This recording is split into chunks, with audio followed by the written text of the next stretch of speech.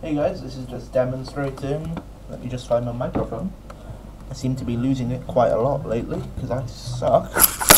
Ah, there it is. The noise is messed up, but that's just part of it, a bug in the emulator. I'm assuming it'll be fixed. But this is DS, DS emulation on. Let me just pull up my system specs. On this.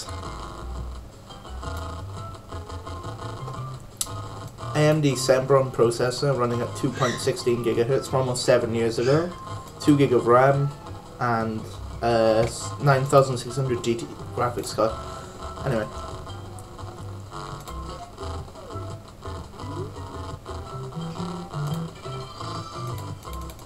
I'm just going to uh, start the game so you can watch a few of the cutscenes.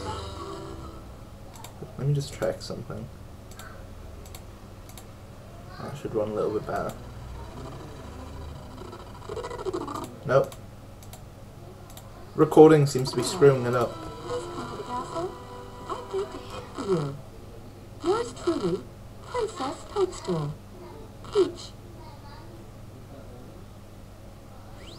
Here we go. Now, as you can see, it's perfectly, it's pretty smooth, running at about 16 or 17 frames per second, which is kind of surprising for such an early emulator.